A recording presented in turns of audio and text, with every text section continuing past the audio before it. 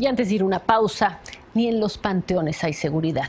Santos Bris, nuestro compañero, constató que también son escenario de peleas, de robos, música en vivo, incluso disparos con armas de fuego.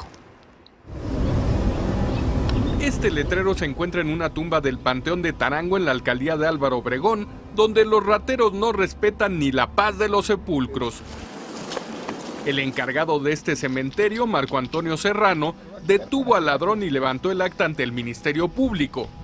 A la media hora ya estaba quieta la persona, porque no había delito que perseguir, en razón de que quien debe levantar el acta es el usuario.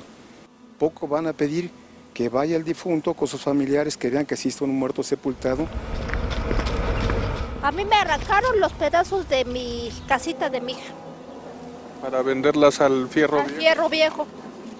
Más que nada que respeten, porque todos vamos para allá y ellos no se pueden defender. La violencia no se limita al robo, sino a las formas de despedir a los difuntos como ocurre en varios estados del país. Y desde que llegan vienen tirando balazos, como un ritual. Traen bandas de música. Cuando ya van a bajar el cuerpo, acostumbran eh, poner un vino de cierta, de un, un whisky de cierta marca, lo acompañan, aparte de la música de viento, con metralletas. Lo que hace uno es cubrirse o buscar una tumba o algo. Se esconde uno donde se pueda.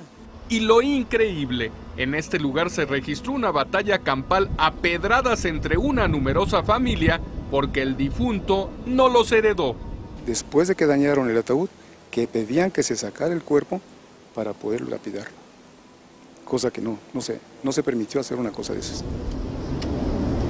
Dicen que en los panteones asustan. Eh, sí, pero no los muertos. Las historias de la gente viva es la que nos pone de nervios. Increíble, ¿no?